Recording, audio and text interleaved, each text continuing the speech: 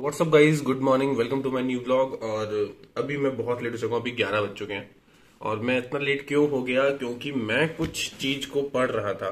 तो let me show you guys कि क्या थी वो। सो so, आपको फार्मेसी के बाद अगर फॉरेन जाना है तो ये बुक बहुत ज़रूरी है। कॉम्प्रिहेंसिव फार्मेसी रिव्यू ये आपने बुक अगर एक बार खत्म कर दी पूरी तो आप समझ लो कि आपने 50 परसेंट तैयारी कर ली है एक फॉरेन एग्ज़ाम के लिए। और बाकी 50 परसेंट तैयारी क्या होगी? जो आपके सब्जेक्ट्स हैं। जैसे कि पैथो फार्मोकोलॉजी थेराप्यूटिक्स है ना?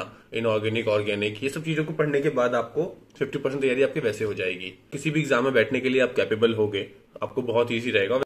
तो जिसके एडिटर्स हैं वो भी फार्मडी हैं फार्मडी हैं और जिन्होंने कॉन्ट्रीब्यूशन दिया है वो लोग भी देखो फार्मडी फार्मडी बीसीपीएस ये बहुत ही हाई लेवल और एक अच्छी बुक है ठीक है?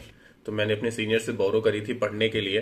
तो अभी मैं सुबह में मैं पढ़ने बैठा था और अपने आप को रेडी भी करा जा रहा था बीच बीच में। उसके बाद मैंने कुछ ऐसा पढ़ना शुरू किया जिससे मेरे को इंटरेस्ट आने लग गया। तो दैट्स वाई थोड़ा मैं लेट हो चुका हूँ बट कोई ना। कुछ नया सीखा भी मैंने तो बहुत अच्छा लग रहा है मेरे को। ये वाली बुक आपको हर किसी फॉरेन एग्ज़ाम में बैठने के लिए कैपेबल कर देगी। जैसे कि फॉर एग्ज़ाम्पल इसमें दे रखा है नेपलेक्स का ब्लू तो ये है नेपलेक्स का ब्लू कैसा एग्ज़ाम आएगा, कैसा एग्ज़ाम पैटर्न होगा। फिफ्थ ईयर में अगर आप हो तो आप अगर आपका प्लान है फॉरेन जाने का तो आप ये बुक खरीदने की सोचो और उसके लिए पहले अपने को वेल प्रिपेयर भी करो, क्योंकि ये बुक समझना उतना भी इजी नहीं है। सो अभी चलते हैं हॉस्पिटल वहाँ पे ईएमआर से डाटा कलेक्ट कर रहे हैं। कल नहीं हो पाया था डाटा कलेक्शन क्योंकि कुछ दिक्कत आ गई थी। तो आज जाके डाटा कलेक्ट करते हैं। होप्स सो हमें और ज़्यादा पेशेंट मिल जाए। तो करते हैं इस ब्लॉग को शुरू। My name is Nilesh Sharma my channel name is DRX blogs और अगर आप इस चैनल पे नए हो तो पहले प्लीज़ जाके मेरे प्लेलिस्ट चेक करो।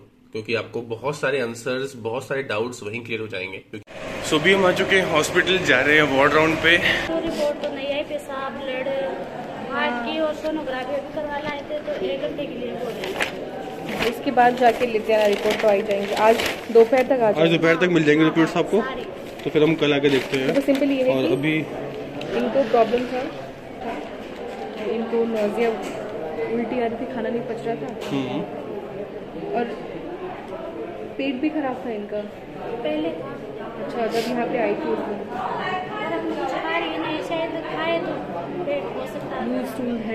ये था। हम्म। जब पेशेंट आया था उस समय। जब यहाँ पे आया फिर बाद में जब चेक हुआ तो पता लगा कि हिस्ट्री है हाइपरटेंशन की। अच्छा। लगता है कि लॉन्ग टर्म नो ट्रीटमेंट की वजह से ना इनका जो हाइपरटेंशन है वो।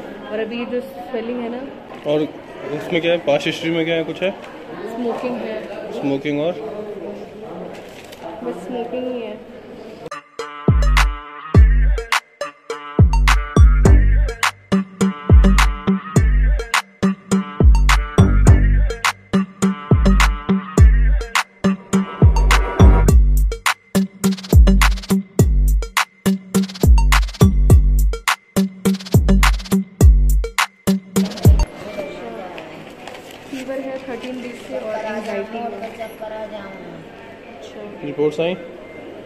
देखिए। मिक्स एंजाइटी डिसऑर्डर नींद आती है आपको? नींद। रात में नींद आती है? नहीं आती। खाना खाने का मन करता है? भूख लगती है? कितनी रोटी खाते हो आप?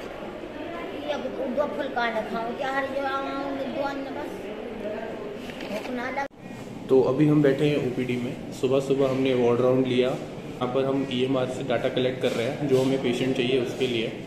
सुप्रज्ञा अभी डाटा कलेक्ट कर रही है। आज हम फीमेल मेडिसिन में गए थे पेशेंट्स देखने तो वहाँ पे हमने एक हाइपरटेंशन का पेशेंट देखा। तो कभी कभी ये होता है कि नर्सेस को वेन्स नहीं मिल पाते हैं। उस पेशेंट को इतनी बार इंजेक्ट करा गया था मतलब पूरे हाथ में स्वेलिंग आ गया था। और अब ऐसी कंडीशन हो गई है कि अब उसमें कोई भी दूसरा अब पूरा वो ब्लैक ब्लैक सा भी हो गया पूरा हाँ ब्लड क्लॉट हो गया वहाँ का। तो अब फर्दर कोई भी अगर कैथेटर वगैरह लगाना करना लगाना होगा तो वो नहीं लग सकता है जल्दी सारी नसें आउट हो चुकी हैं। हाँ। कभी कभी क्या होता है कि नस नहीं मिलती है नर्सेस को तो वो पहले यहाँ लगाया अब नहीं यहाँ पे नहीं मिली तो फिर यहाँ लगा के चेक किया यहाँ पे नहीं मिला तो यहाँ ला के चेक किया। अब क्या हुआ मेरी एक दो तीन तीन नसें आउट हो गई और यहाँ पर सूजन आनी शुरू हो गई।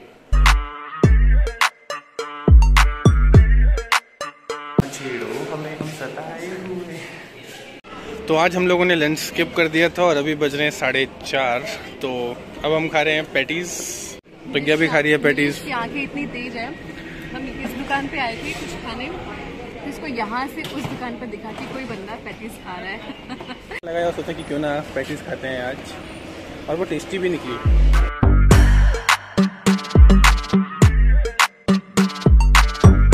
तो अभी मैं आ चुका हूँ रूम पे और मैं दोबारा से पढ़ाई कर रहा था। क्योंकि आज क्या हुआ, जो मैं बहुत एक्साइटेड हूँ बताने के लिए आप लोगों को, कि जिनके अंदर हम लोग रिसर्च कर रहे हैं, बोला कि मैं और मेरे साथ के डॉक्टर्स जा रहे हैं तो कोई भी पेशेंट आएगा तो उसकी हिस्ट्री लेना आप लोग। तो उस समय जो दिमाग एकदम से ब्लैंक हुआ ना मेरा आज, वो मैं ही जानता हूँ। ट्राइंग टू थिंक कि हम क्या करेंगे, कैसे पूछेंगे। मतलब आपके पास सिर्फ़ एक पर्चा आएगा जिसमें कुछ भी लिखा नहीं है। आपको पेशेंट से पूछना है कि हाँ जी, क्या प्रॉब्लम है, क्या है, क्या दिक्कत है, उसको लिखना है अपनी नोटबुक में, क्योंकि उसमें लिख सकते नहीं है हम। इतने प्रोफेशनल तो भी हुए नहीं है, इतना तो भी आया नहीं है। तो हमने दो तीन पेशेंट्स का लेने की कोशिश किया बट मतलब मैं जहाँ पर लैग हुआ, वो था हिस्ट्री टेकिंग करना। हिस्ट्री टेक करना एक बहुत ही ज़्यादा इंपॉर्टेंट काम है। और मैंने एक चीज़ अपनी लाइफ में समझी है कि आपको कोई भी अगर कोई टास्क दे रहा है तो उस टास्क को आप पूरा हंड्रेड परसेंट उसमें देने की कोशिश करो। चाहे वो भले ही पाँच मिनट के लिए हो, दस मिनट के लिए टास्क मिला हो बट आप अपना उसमें बेस्ट दो। जिससे कि आप जब अपना बेस्ट दोगे तो आप कुछ ना कुछ उससे सीखोगे भी। ठीक है ना? तो ऐसे चीज़ों को, ऐसी अपॉर्चुनिटीज़ को हमेशा ग्रैप करने की सोचो और इस जब भी आपको अपॉर्चुनिटीज़ मिले तो इसमें अपनी जी जान लगा दो समझने के लिए कि मैं कहाँ लैक कर रहा हूँ, मैं कहाँ लैक कर रहा हूँ।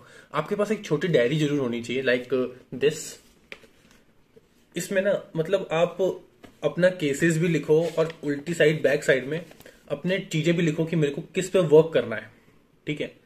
तो वर्क करना है अपने ऊपर be the change you want in yourself वो चेंज ऐसे ही आएगा जब आप चेंजेस याद रख पाओगे।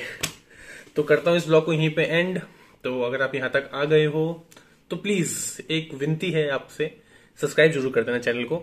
जितने भी लोग बोल रहे हैं कि आप क्लासेस लेना शुरू कर दो, थोड़ा पढ़ाना शुरू कर दो सो so, कुछ दो तीन चीज़ें हैं जो अभी हिंड्रेंस बनी हुई हैं। एक बार वो क्लियर आउट हो जाए तो we are trying to to get into this और आप लोगों का सपोर्ट चाहिए बस सपोर्ट करते जाइए। हम कुछ ना कुछ आपके लिए ज़रूर लेकर आते रहेंगे। आपकी जितनी भी प्रॉब्लम्स उनको सॉल्व करने की हंड्रेड एंड टेन परसेंट हम करेंगे। So that's for today guys bye bye